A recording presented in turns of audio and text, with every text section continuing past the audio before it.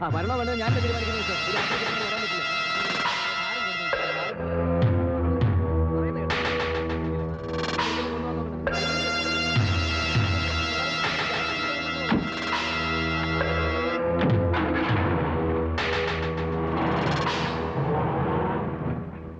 വെളുക്കുന്നത് വരെ ചേട്ടന്റെ വരവും കാത്ത് ഞങ്ങൾ ഉറങ്ങാതിരുന്നു.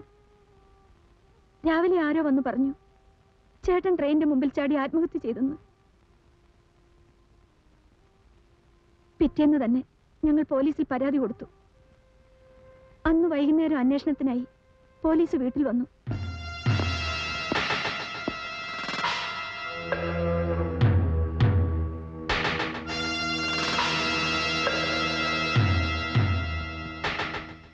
നിങ്ങൾ രണ്ടുപേരും സ്റ്റേഷനിലേക്ക് വരണം.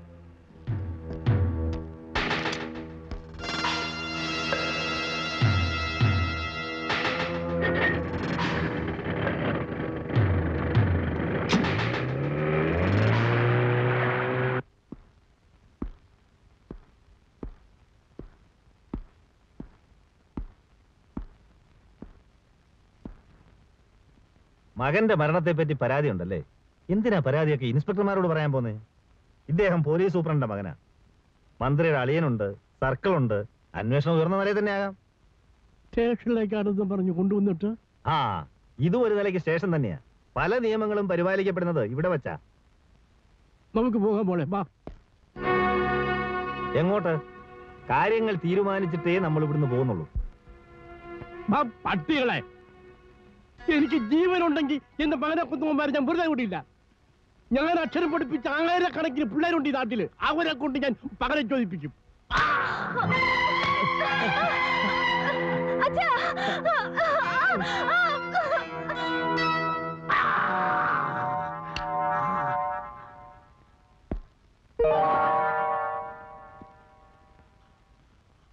നിങ്ങളുടെ മകന്റെ മരണത്തിൽ നിങ്ങൾക്ക് പരാതിയില്ല.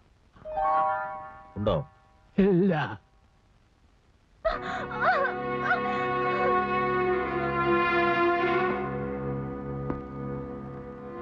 ഇന്നു മുതൽ ഞാൻ പറയുന്നതേ നീ കേൾക്കൂ.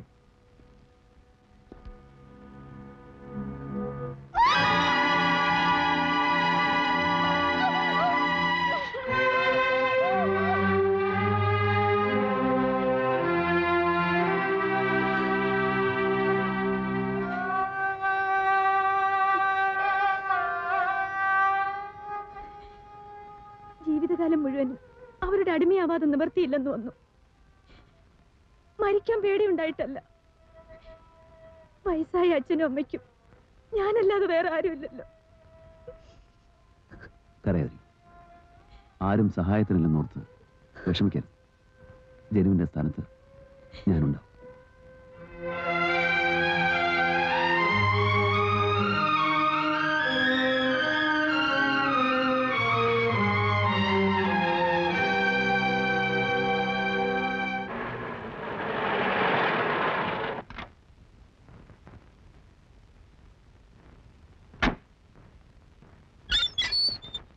അങ്കിളെ? വക്കീൽ വക്കീലങ്കിളിന് എങ്ങനെയുണ്ട്? എന്തേ? അങ്കിളിന് അടി കിട്ടിയോ? അടിയോ? അപ്പൊ അങ്കിൾ അറിഞ്ഞില്ലേ? വക്കീലങ്കിളിനെ ആരോ അടിച്ചു. ആശുപത്രിയിലാന്ന് ഫോൺ വന്നു. അപ്പൊ മുത്തശ്ശിയും അമ്മാവനും അങ്ങോട്ട് പോയിരിക്കാം.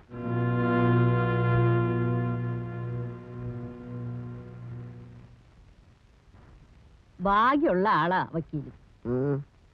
അല്ല ഈ മുഖത്ത് കൊണ്ടാടി കണ്ണിലായിരുന്നെങ്കിലോ? എന്നാ പിന്നെ സൗകര്യായി. ഈ മോന്ത കാണാതെ കഴിയല്ലോ കുഞ്ഞിക്കണ്ണ ഞാൻ നിന്നോടല്ല സംസാരിക്കുന്നത്. വക്കീലെ നമുക്ക് ആ വീട് മാറുക. ഒരു നാശം പിടിച്ച വീടാണ് പോലീസ് സ്റ്റേഷനിൽ കയറി തല്ലുകൊണ്ട് എന്തെല്ലാം പുലിവാലികളാണ്. ദേ വെറുതെ വീടിനെ പറ്റി നീ കുറ്റം പറയരുത്.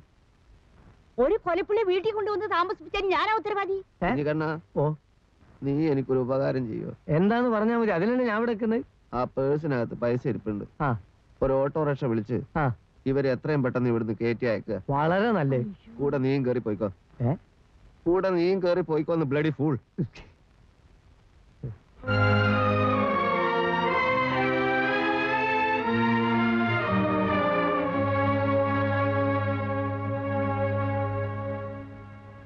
എന്താ ഉണ്ടായത്? ഏഴടി മൂന്ന് ചവിട്ട്. ഇരുമ്പ് കട്ട കൊണ്ടുള്ള ഇടി കനത്തത് രണ്ടെണ്ണം. പിന്നെ പുറത്തു പറയാൻ കൊള്ളാത്ത ഭാഷയിലുള്ള കുറെ ചീത്തയും. ഇത് വെറും അഡ്വാൻസ് ആണത്രേ. ആരാ ഇത് ചെയ്തത്? പിടിക്കുന്നതിന് മുമ്പ് മേൽവിലാസം ചോദിച്ചില്ല. എന്തായാലും നാളത്തെ അവാർഡ് ഫംഗ്ഷന് ഞാൻ വരാം. മറ്റന്നാൾ പരോൾ കഴിഞ്ഞ് താൻ തിരിച്ചു പോകുമല്ലോ. അത് കഴിഞ്ഞേ ഞാൻ വീട്ടിലേക്കുള്ളൂ. ഇവിടെ കുറച്ചുകൂടെ സേഫാണ് വക്കീലെ നമുക്കിനിയും ഒരുപാട് കാര്യങ്ങൾ ചെയ്യാനുണ്ട്. ഞാനിപ്പോൾ ഗീതയെ കണ്ടിരുന്നു.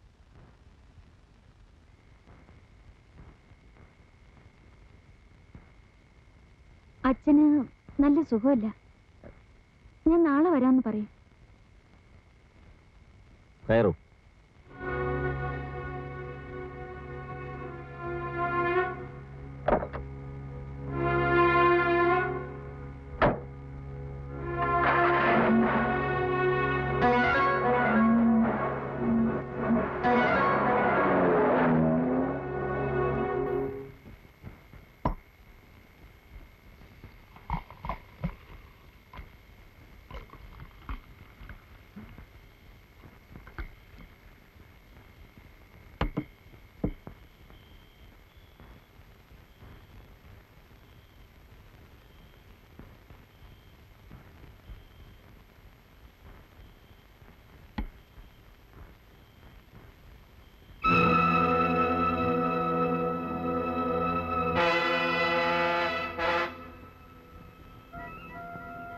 ഇത്രയും കാലം കൂടെ നിന്നിട്ടും നിനക്ക് ഞങ്ങളെ മനസ്സിലായില്ല. അനുസരിക്കാൻ അറിയാവുന്നവളായിരുന്നു നീ. ഞങ്ങൾ ഏൽപ്പിച്ച ജോലികളൊക്കെ വളരെ ഭംഗിയായി നീ ചെയ്തിട്ടുമുണ്ട് ഒരു പരിധിവരെ ഞങ്ങളുടെ രഹസ്യങ്ങൾ നിനക്ക് അറിയുകയും ചെയ്യാം. ആ അറിവ് ഞങ്ങൾക്കെതിരായി ഉപയോഗിക്കാം എന്ന് നീ കരുതിയിട്ടുണ്ടാവും. കാര്യങ്ങൾ അന്വേഷിക്കാൻ ഒരു പുതിയ രക്ഷകൻ ഇറങ്ങിയിട്ടുണ്ടല്ലോ. സാർ അങ്ങനെയൊന്നും ഞാൻ വിചാരിച്ചിട്ടില്ല സാർ. ബെൻ നരേന്ദ്രൻ നിന്റെ ആരാ? ആരുമല്ല. അയാൾ എന്തിനാ ഇടയ്ക്കിടയ്ക്ക് നിന്റെ വീട്ടിൽ വരുന്നത്? വരണ്ടാന്ന് ഞാൻ പറഞ്ഞിരുന്നു. എന്നിട്ടും വന്നു അല്ലേ? വരാതിരിക്കാൻ പറ്റില്ലല്ലോ. നിന്റെ ജ്യേഷ്ഠൻ ചെയ്ത കൊലപാതകം സ്വയം ഏറ്റെടുത്ത് ജയിലിൽ പോയ ത്യാഗിയല്ലേ? നമ്പ്യാരും ഒരു വിധിയാണെന്ന് കരുതുന്നുണ്ടാവും അവൻ. നാളത്തെ ദിവസം കൂടി കഴിഞ്ഞാൽ ഇരുമ്പഴിക്കുള്ളിലേക്ക് തിരിച്ചു പോകുന്നവനാണല്ലോ എന്നോർത്താണ് ഞാൻ കണ്ണടച്ചത്. അതിനിടയ്ക്ക് എനിക്കെതിരായി അവൻ കരുക്കൾ നീക്കാൻ തുടങ്ങി. ആദ്യം ആ പത്രക്കാരൻ ജോൺ സക്കറിയ ഇപ്പോൾ നീയും. സാക്ഷി പറയാൻ ആളുണ്ടെങ്കിൽ തെളിയാത്ത കേസുകൾ തെളിയിക്കാമല്ലോ അല്ലേ? അത്ര പെട്ടെന്ന് തന്നെ ഞാൻ വിട്ടുകൊടുക്കില്ല. ഇല്ല സാർ.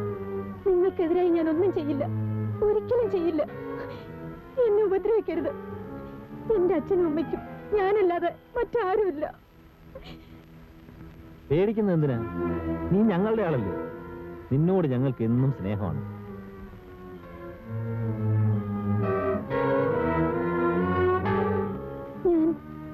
ഞാൻ ഞാൻ പോട്ടെ സാർ ഉം.